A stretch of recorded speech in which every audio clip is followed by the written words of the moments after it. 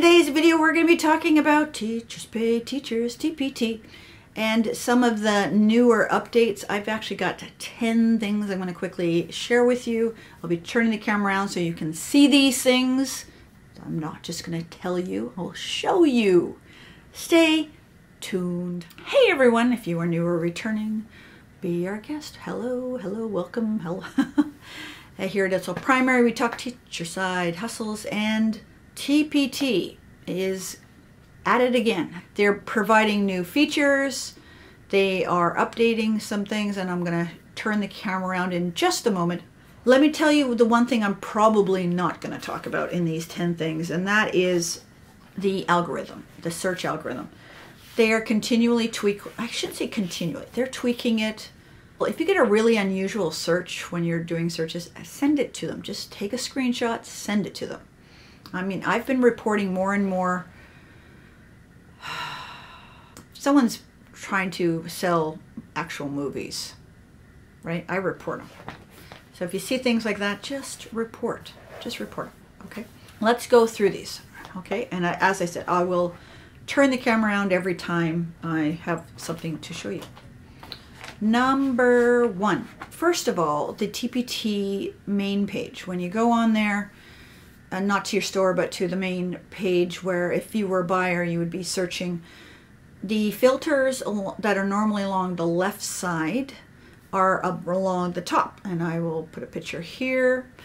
And this is great because they've added a couple extra features. I think media, they've added uh, speech, they've added specialty. Terrific, okay? So it just takes a little bit getting used to. You can still only click on one. That's okay. It's it's fine. And so it's just a matter of getting used to that. I'm okay with that. Let me know how you're feeling with it. Anyway, so so that's the that's one.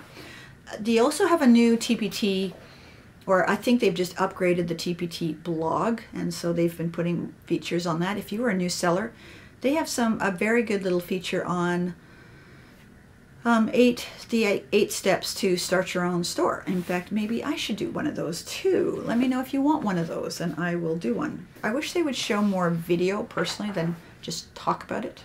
Like give us, they, they've got a few pictures. So that's that helps. So new homepage, new blog. Number three, let's talk about the conference. They have announced the TPT Forward Conference for 2024. It is July the 9th to the 11th, I'll put it right here, in San Diego, California. Now, in my few years that I've been with TPT, they've all been on, well, no, I shouldn't say that. They've all been east. and so to have a West Coast conference is terrific. Now, right now, face-to-face -face only, which really eliminates a lot of people, right? And I'm really hoping they might change their minds and make it virtual. I was actually tentatively planning on going to the conference this year. I don't know why. I just thought uh, maybe I should just go to one, right? And now that it's in San Diego, I might. However, with my ear damage, or my, I should say ear damage, with my ear, the way it is, I can't fly. I've been actually grounded. So if I went, I'd have to take a bus. Oh, I can't imagine a bus. Or the train, which I could take Amtrak. That would be kind of fun. I don't know whether I'd drive it.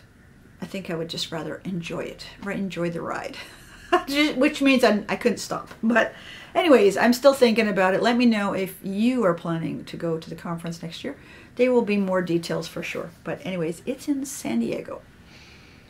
And registration, early registration is on now until November 30th, or maybe it's December 30th. That I forgot to check. Okay, but registration is started. Early registration. Next one. Number four, note to followers. This is a good one. I'm really happy with this one. When I first started on Teachers Pay Teachers, note to follower, note to followers could only be once a month. I think it was once a month. And then it moved to once a week, which is fine.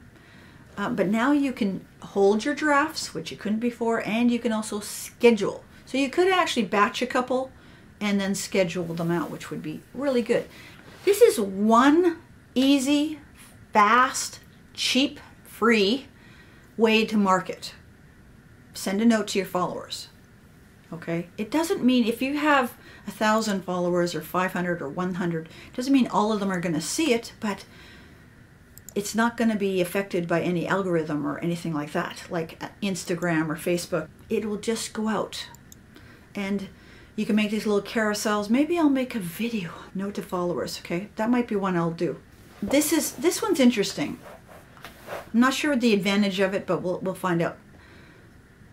You have now an opt-in on site-wide sales, whether you want to just by clicking one little thing, everything just automatically goes 20% off which makes it easier. But you know, then uh, especially if you are have just added a product last minute before the sale and it doesn't get that automatic sale. So I think this automatically does it. Have to see this one in action. I'll do it for the cyber sale, which is in end of November, and see if it works. But and then I'll let you know. One feature that is coming is the optimization of our covers every so often I get a message going, Lorianne, my cover looks blurry on TPT. That is actually done intentionally. They do that so that people won't copy them. They won't just lift them. People still copy. And unfortunately, I just listened to another person who's showing how they're not only their covers, but their products are being copied almost word for word. So sad. What they've decided to do is any products covers, any product covers uh, created after or uploaded after 2017 will get this optimization. And if you have older products, which would probably eliminate most of us, if you have products prior to that, it won't be affected. So, which means you should probably make a new cover. That's a hint. And if you want to know what they recommend as the size, in pixels, it's 750 times 750. I'll put it right here, which is a square. Okay, square covers. Still square covers. Um, something that was announced last month, and I didn't really talk about it, is bundle pricing flexibility has happened. Before, you were not allowed to exceed about 50%. Now you can pretty much take a $100 product and sell it at $10 or something crazy like that. Why? Don't do it, okay? you know, some sellers are very desperate right now for sales, and they will do that, which again hurts the rest of us if someone's really underselling. You've got to do what's best for you in your store, okay? Um, the next one I talked about, but it was a good reminder because I forgot about it. And what that is, is on the blog, they posted an article that says, What are teachers looking for for November and December? And they based it on the top 100 searches last year. I wish I'd remembered this last week when I was talking about keyword research because sometimes people say, I don't know what to research. And I gave some suggestions, but here's another suggestion. Take that list and just put in those words in whether you're using SellerSpy or Teachers Boost. Put those words in and that and they'll give you longer keywords right? So, for example, I think the number one search for grades one to four was Christmas. So, if you just type in Christmas, now that's going to be a huge one. I think the volume will be huge. But if you put in the word Christmas and then just watch what Christmas things show up, uh, maybe I'll put a picture right here. that's a great way to place to start. So look to see what was most searched last year and and use that. Anyways, they pull out they actually put out that feature every 2 months and I I totally forgot about it. I had actually written down the words uh, I don't know, um, maybe even a year ago, can't even remember. It's a great way to get some ideas for products. Next one, we're almost done here already is the set, um, what is it called? Set away? Oh, it's an away status. So you can actually, if you're going to go away for two weeks and you're just not going to be available online for buyers to send you a message, you can actually put in away status. Okay? You're going to go to your account, go down the left hand side. Under profile, it's about the fifth one and it's and you can actually put in the dates and so say let's say you're taking a two week trip put the dates in and put a message And that way, if a buyer wants to ask you something, they can see that message and go, okay, she's not, she's not even available. That hopefully will not turn out to be something negative, right? Maybe they're just going to ask you a question and you can come back to that, okay? I, am glad they did that. It's kind of like Google Email does that. I love that with Google, Google Mail. And I'm sure other uh, emails do that too. Please never forget that you can also get up-to-date information on the seller forum on TPT. If you go to your house, go down almost to the very bottom, it says Sellers forum. There are tons of things. If you want a free TPT store review, say, hey, I'm new, can you please someone look at my store? You'll get people, okay? You don't know them, so they'll give you some very objective information.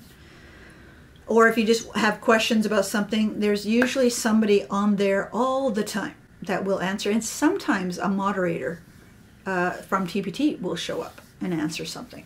And the, the TPT uh, staff, particularly Karen and Amy, are usually in there every week posting something. They recently posted something about VAs, which I won't get into on this video, but you can get some, uh, if you're thinking about having a VA, Karen posted something, was it last week or the week before, on some features for VA logins. So there's lots of stuff on there that I'm not addressing. And honestly, some people, when they say, how do you know so much?